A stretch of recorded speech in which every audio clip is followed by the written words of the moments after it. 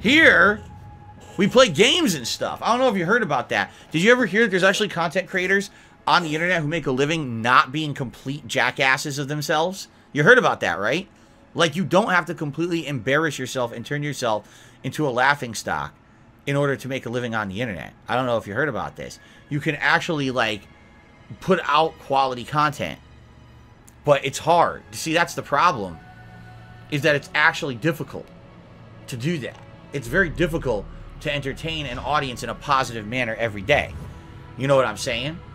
I could go for the, the lowest common denominator, but I'm not. I'm doing the hard thing. I'm doing the tougher thing.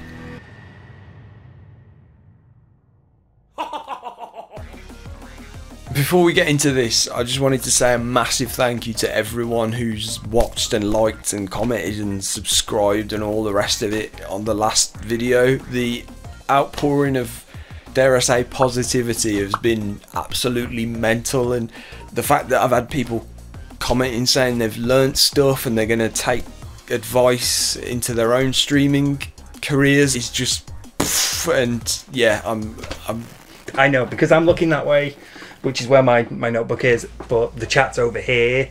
I don't want to block it, so. Oh wait, um, Forbidden Math. Forbidden Math has has has their um has their chat on on that side, so yeah. Okay, right. I'll I'll use theirs. I'll use their version. This is much better now. This is much better now. Thanks, Sam. Some so subtle you might not have even noticed. Watch your brain do. Fantastic Mr. Sam. He is one of the OG streamers that got me into streaming. He put a video out, and part of the video was him explaining a couple of things, just a few tips. And one of them was that when your camera is facing away from the game that you're playing, it just looks like you're disconnected from the stream. So for my um, for my play scene, which is the main one that I use whenever I'm playing a game, if I'm looking straight at my monitor now, it should look ever so slightly like I'm looking in the direction of the game. That Mr. Sam video is probably one of my favorite, uh, one of my favorite pieces of content I've ever seen. Be overwhelmed by it also thank you everybody to that's that's you know that's uh, interacted in some way. You're all brilliant and and thank you and yeah i'm gonna shut up now. Hopefully i can keep this going and and we'll see. We'll see see what you think of this one. Cheers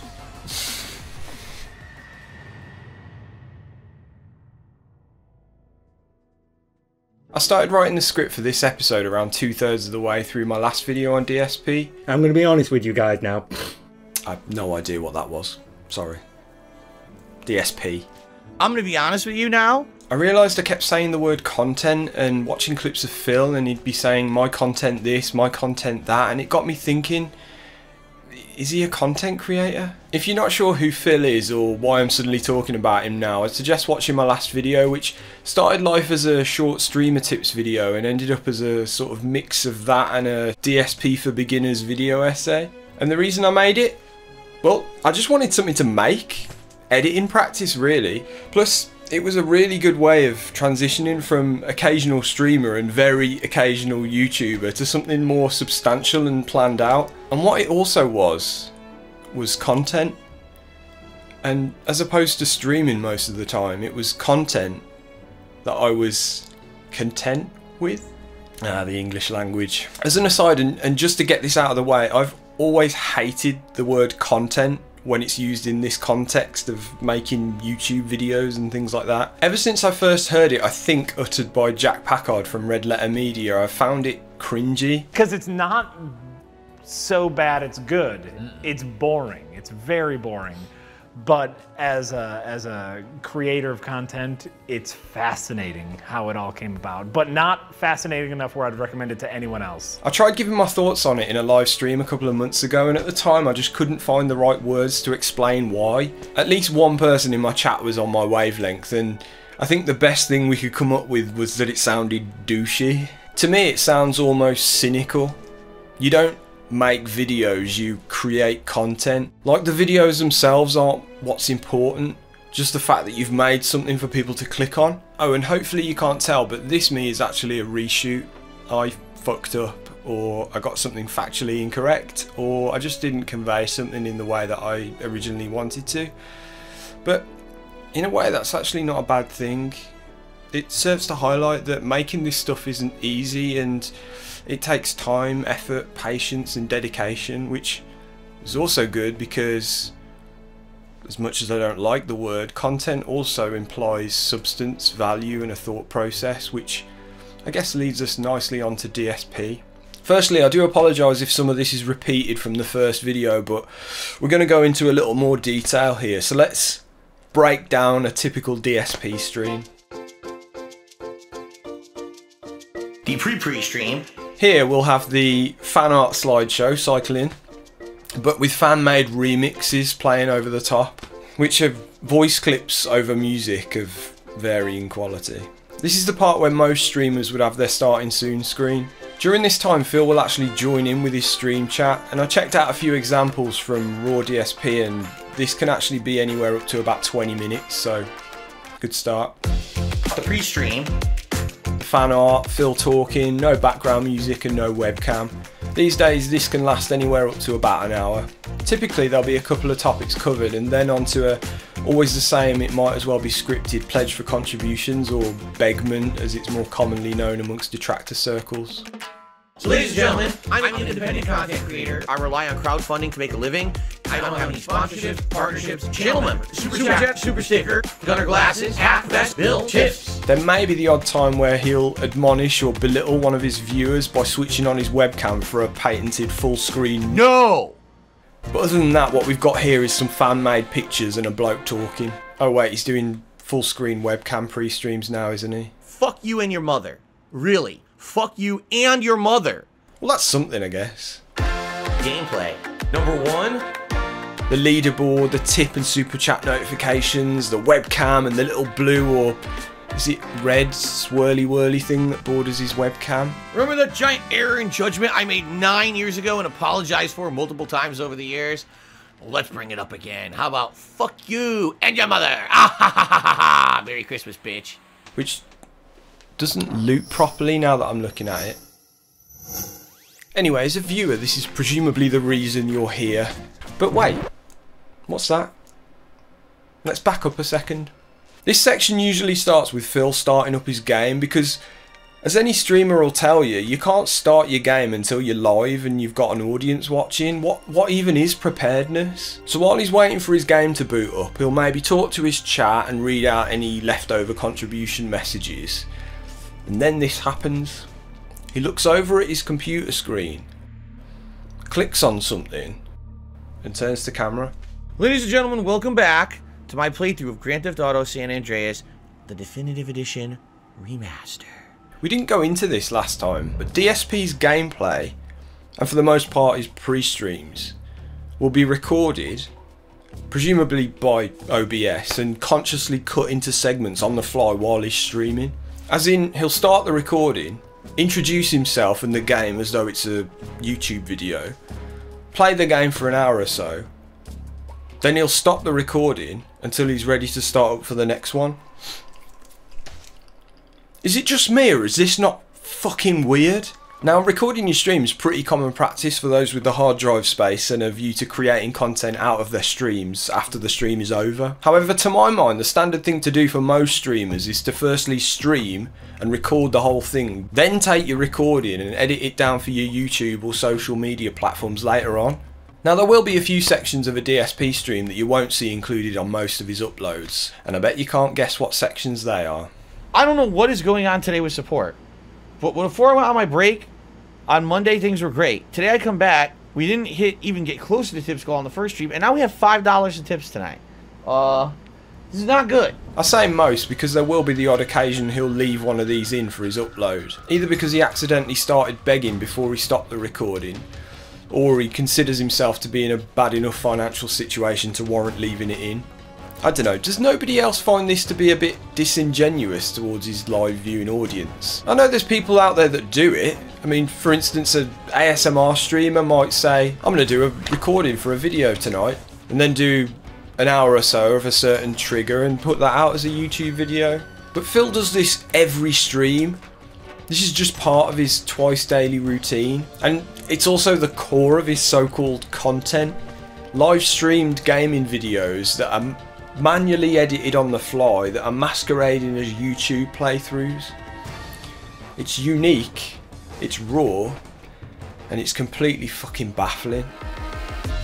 Break time. Then we're treated to our old friends, the fan art and the remixes. For anywhere in the region of 20 to 30 minutes. Not a be right back or a break screen in sight. Well, actually, I tell a lie. There is an on break piece of fan video that plays regardless of whether we're on the pre pre stream, the pre stream, or on a break. It's just thrown in there with his regular rotation of fan art. This is the care and attention level we're dealing with here. The I really don't give a fuck about anything care and attention level. And I'm not saying you shouldn't take breaks, but 20 to 30 minutes, that's kind of bordering on stream ending and restarting territory, is it not? Gameplay. Number two. Now we're on to the home stretch, another couple of hours of fun and games with Phil. No, fuck you and your mother. I'm just gonna fucking beat this shit quick now. Now I'm pissed. Fucking stupid game. Yeah, again. This is the end. Then we end strongly with a quick sign off to his YouTube audience. Thanks. Peace out. See you later.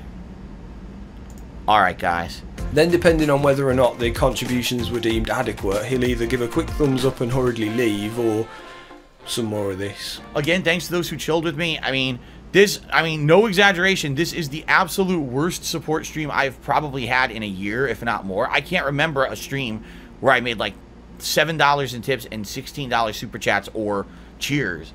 Uh, but what can I do? I can't change it. I, there's nothing I can do about it. I wasn't going to stop and tweet. I, I already done that during Mass Effect streams. It had no effect. So, it is what it is. Uh, it's literally the worst stream I've had in a long time. Kimbo Slice, you came on here about a half an hour ago. You said you couldn't tip. During, immediately when you did that, I did a big elaborate explanation on this very stream explaining what was going on and why you couldn't tip. And then you never tipped.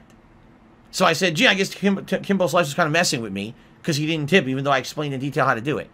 All right? So, what are you talking about? Did you tip? No.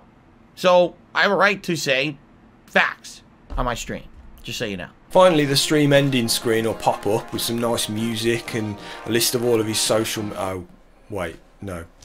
Sorry.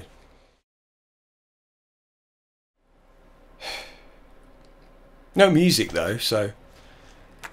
Every cloud.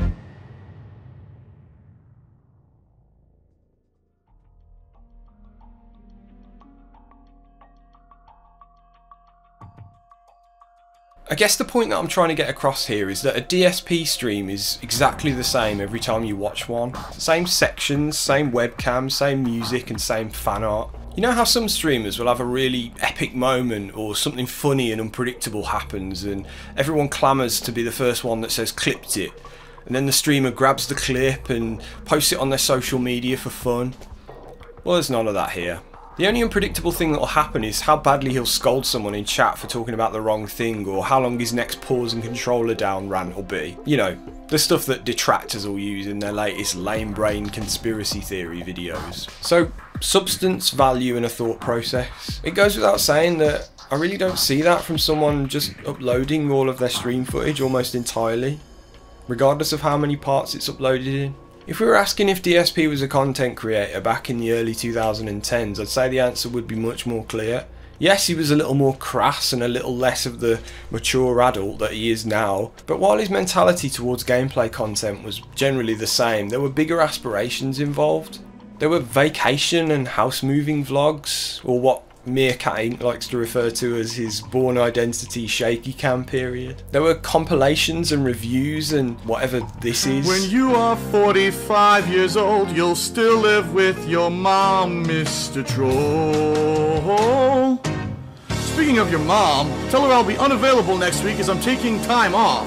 Oh yeah, she still owes me for last night. Edited videos with clear thought put into them. But editing is pretty famously something that Phil struggles with. Need I remind you of his high level editing rant from the last video? I don't have that know-how. I never did. I was just this Joe Schmo nobody making silly videos. I'm the average guy playing games. That's what it was supposed to be. From what I can gather, around mid 2017 to early 2018 seems to be the point where he finally stopped even attempting it. It's certainly the period where he lost his motivation for it. The point where YouTuber Phil ended and professional full-time streamer Phil began. And we know this because, unsurprisingly, Phil talks about it a lot. Did you know that Phil likes to talk about himself? I'd liken it to hearing Paul McCartney telling the same story for 50 years about how he wrote Hey Jude or how John wrote Lucy in the Sky with Diamonds. You already know the story, you know exactly how he's going to tell it, but he's going to tell it anyway. I say, the movement you need is on your shoulder. And I was playing the song to John. The movement you need is on your shoulder. The movement you need is on your shoulder. So I'll be taking that out, you know. I said, I'll be changing that. I'll fix that, I'll fix that. That's what it, I just put it, it's just words. It doesn't mean anything. The movement you need is on your shoulder. Sounds like a parrot. Sounds like a parrot. Sounds like a parrot. John said, no, you won't be taking that out. You won't, you know. He said, you won't, you know. He said, I know what it means. He said, I know what it means. He said, I know what it means. That's incredible line. It's the best line in it, man. He said, that's probably the best line in it, man. He said, that's the best line in the song, you know. Twitch earlier this year kicked me out of their partner program with no justification for it. The difference is, one of them's a Beatle and the other one is a bloke in his pyjamas playing computer games. Anyway, he'd had some success with a couple of game reviews that did exceptionally well for him. Notably, an edited review on his KO Gaming channel entitled The Worst Game I've Ever Played, Homefront The Revolution is easily one of the most viewed things he's ever put out. This is the worst game I've ever played. Stay the fuck away from me. But I'm going to go out on a limb and guess that YouTube Adpocalypse aside, the reason he's not doing this stuff anymore probably has something to do with the effort to profit ratio. I mean, why spend hours editing a single game review that may or may not be a hit with the YouTube algorithm lottery when you can sit on a stream twice a day, make money while you stream, and upload each stream into two or three separate videos? Even if I worked my ass off, um, I still wouldn't make money. The pr- proof of the pudding here is 2016. I worked my ass off to make a new channel called KO Gaming take off on YouTube. It did. I had a video with over a million views. I had videos with tens of thousands to hundreds of thousands of views on the channel. All right. And it was doing good. And then in early 2017, the YouTube apocalypse hit. Okay. Boom. Everyone stopped making a lot of money on YouTube all at once. And when that happened, I really had to refocus my efforts to be more of a streamer than anything else. And I will never put effort into YouTube ever again. Why bother? No, I can't keep doing DSP tries it when the money that the video makes doesn't even cover the item I'm reviewing. It's that simple. You know, I do plenty of things for fun. So what I need to do is I need to choose the things that I can do for fun that will also be profitable so I could keep doing things and having fun. Or else this whole thing ends. If I just do whatever I want willy-nilly and I don't care about money, guess what? This all goes away. No more streams, no more YouTube. It all just dies out because that's reality. There is a certain amount of pride you have when you release a highly edited game review, right? And then you get a ton of people watching it, people leaving positive comments saying, wow, this is a well done video, and people who either agree or disagree in the comments and start an intelligent discussion. That's really awesome. The problem is the era of that on YouTube and being, and being profitable is pretty much dead. Unless you're already an established person who does it for a living. You know, I'm talking about like the Angry Joes. Angry Joe, Angry Joe. The Angry Joe scenario. I think it was Angry Joe. Everyone else is fucked. You can't do it. It's just not, you know, it was too much time and effort for nothing. So I'd rather be a streamer and have fun with you guys enjoying games on a daily basis than put time and effort into something that isn't going to be profitable because YouTube fucked up their website, you know? Yeah.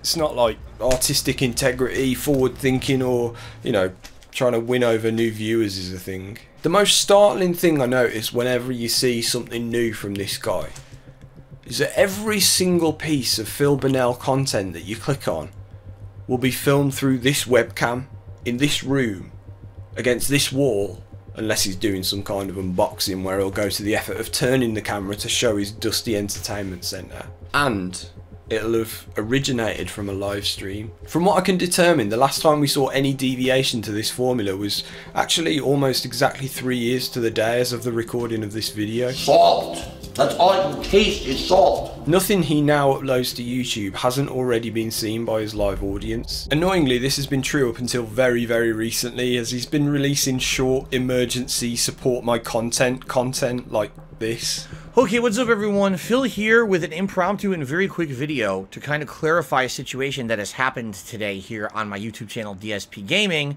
What I need from you is buy-in that you will support that playthrough now. So, please like the videos, like the videos, please leave comments on the videos, comment on the videos, and please support the playthrough via other means. Do whatever you can if you can support, and please support it if you can, whether you can tip or Patreon pledge, whatever it may be. All that stuff helps me tremendously. Please consider it. Okay, guys? Which brings me on to my next point. DarksydePhil is caught between two lives. The life of a streamer that just streams and focuses on that solely as the primary source of income. This is what he now defines himself as, and I mean, he will go out of his way to make sure that you know that.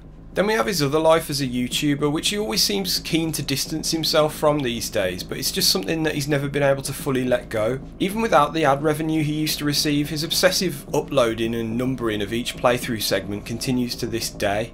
Except now they originate from streams instead of being produced in a more traditional offline let's play style. And I say he's been keen to distance himself from this life, however he's now streaming there again and all of his content is now contained within a single service. So unsurprisingly he's flip-flopped back to doing everything he can to convince people that the videos he puts out are meaningful content that thousands of on-demand viewers appreciate because he's this honest, transparent guy. Which I'm sure is probably true for a handful of people, but if his stuff was truly worth watching then surely there'd be more people watching it. It's content that I feel good about. I feel like what I put out, on the internet on a daily basis is genuine. 13 years ago, I found a, a, a, an avenue to share my love for and passion for video games with the world. Is meaningful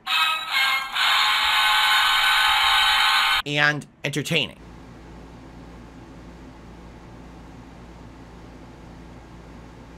As long as I hit those three, I feel uh, like I'm doing my job, right? And that's my job. It's literally my job to put that content out for free. And how amazing and, and how thankful I am that I'm able to make a living doing that. However, this really depends on what day you ask him and what narrative he's currently spinning. Sometimes his videos are described in the way I just mentioned, and other times his entire YouTube channel is just an archive of raw, unedited playthroughs. Um, I just stopped caring, and now YouTube is literally just a cut, paste archive of my, my streams here on Twitch. And it's not worth it to put effort into YouTube anymore. But if the latter was true, then why segment it? And why censor the short sections you don't want people to see? Why are the segments that you don't want your YouTube audience to see okay for your live audience to see?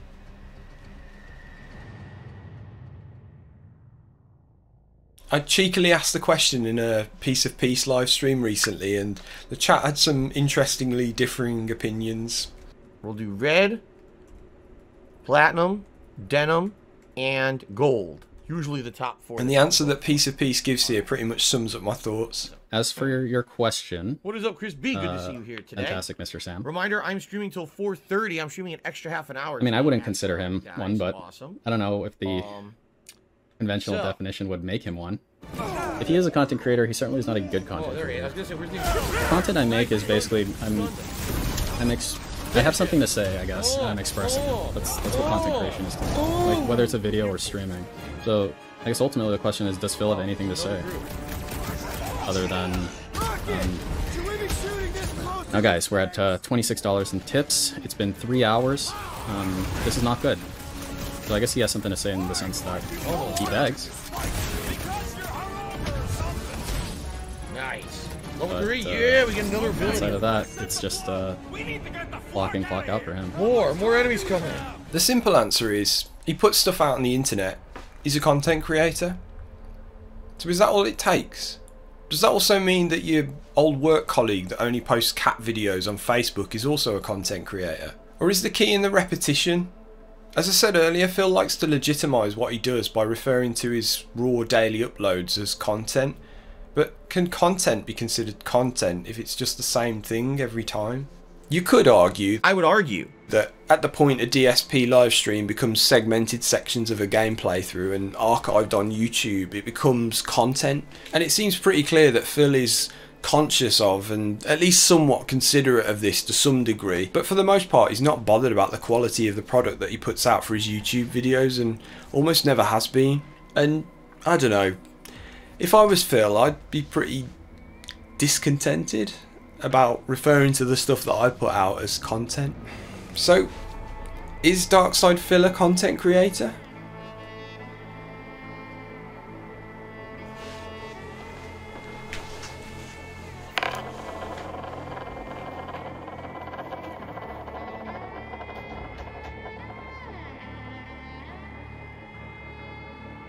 Fuck you and your mother, man.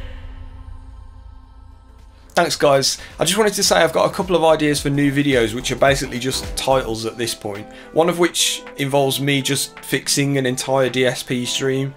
Would that even be possible? Would it be something you would watch? Let me know.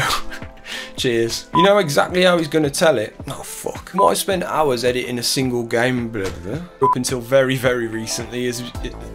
Can you say, ladies and gentlemen, I'm an independent content creator. Ladies and gentlemen, I'm an independent content creator.